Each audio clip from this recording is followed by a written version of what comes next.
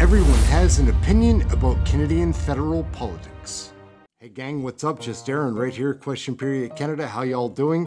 We've been watching and learning all about Canadian federal politics, trying to share that with you. We've got all of these crazy videos to watch from the House Commons, from committee, from the scrums, whatever. There's many sources.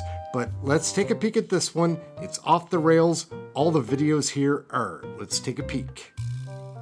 We're here reviewing Indigenous contracting as well. Documents uh, have been received that reveal that a small number of uh, nominally Indigenous firms were able to act as brokers between the federal government and other uh, potentially non-Indigenous companies, uh, simply getting contracts and subcontracting. This allows the contracts to fit into an Indigenous contracting quota, even though Indigenous people do not actually benefit because the subcontractors may be all or mostly non-Indigenous. These companies are essentially using the Dalian or GC Strategies model.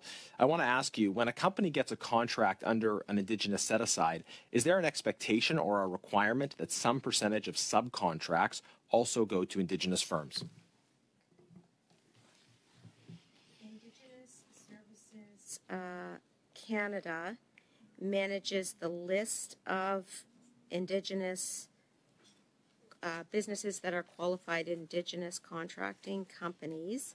Um, but PSPC manages this overall and I will say that departments are responsible for making a request to ISC to conduct a post-award audit, and the audit has to be um, requested when there's any suspicion at all that the requirements of the applicable policy haven't been met through delivery and Indigenous Services Canada. Can, can I just clarify my question, Minister, and I, would love to hear your response on this. Is, do the requirements include that a certain percentage of subcontracts from an indigenous contracting situation that a certain percentage of the subcontracts okay. go to indigenous companies. And are the subcontractors tracked in any way? It right now the percentage is 33% in other words, the contractor's delivery of goods or services and monitoring the contractor's compliance with the 33% Indigenous content requirement for contracting companies. Okay, okay. Th- thank you. That, that, that's what I was looking for, and I, I appreciate that. The, the, the one third uh, requirement there is that tracked because the committee asked for subcontracting information, and we received in, in almost all cases zero information about subcontracts. So I'm a bit mystified about how um, how the government would know if that requirement is being met if subcontracting is not being tracked in any case. I actually uh, just want to clarify my answer, and then I want to add one thing. It's 33% for the contract. That would be verified in the post audit that I, ISC ISC does.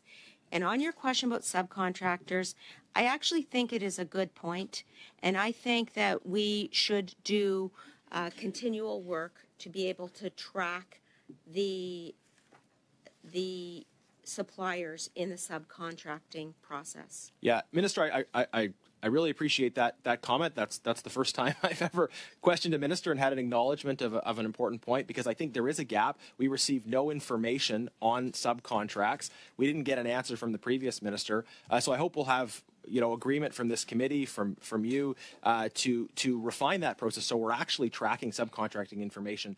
Everyone has an opinion about Canadian federal politics.